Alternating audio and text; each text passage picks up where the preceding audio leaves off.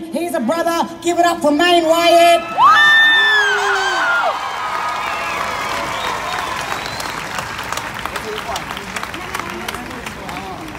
Nayogo Meyne Wyatt.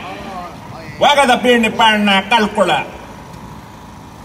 For all you people that didn't know what I just said, my name is Meyne Wyatt.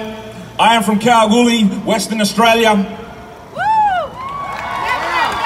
I want to pay my respects to the actual owners of this land, the Gadigal people of the Eora Nation. Know whose land you're standing on right now.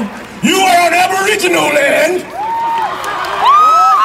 My people, black people, for all of my non-Indigenous brothers and sisters in this house, you are guests in this country. Act accordingly. Are welcome here, but no, this is our land.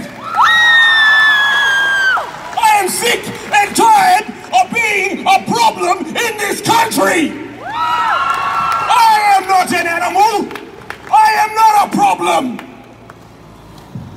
When I was 18 years old, I was arrested by the police. I have a privileged position of standing here right now because my brothers and sisters who have died in custody do not have that right. In 1974, my father was taken by the police for taking black blackfellas out bush for safety and he was beaten by six police officers. I have the privilege of living here because my father lived. My brothers and sisters, my uncles and aunties do not have that privilege. And why? Because I'm black. Why? Because we're black. We are sick of this. It's 474 plus Indigenous people since 1991, the Royal Commission, where, where we talked about recommendation after recommendation, been ignored completely.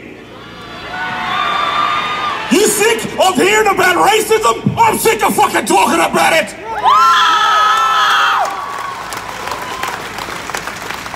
Five people, five Aboriginal people in the last four weeks.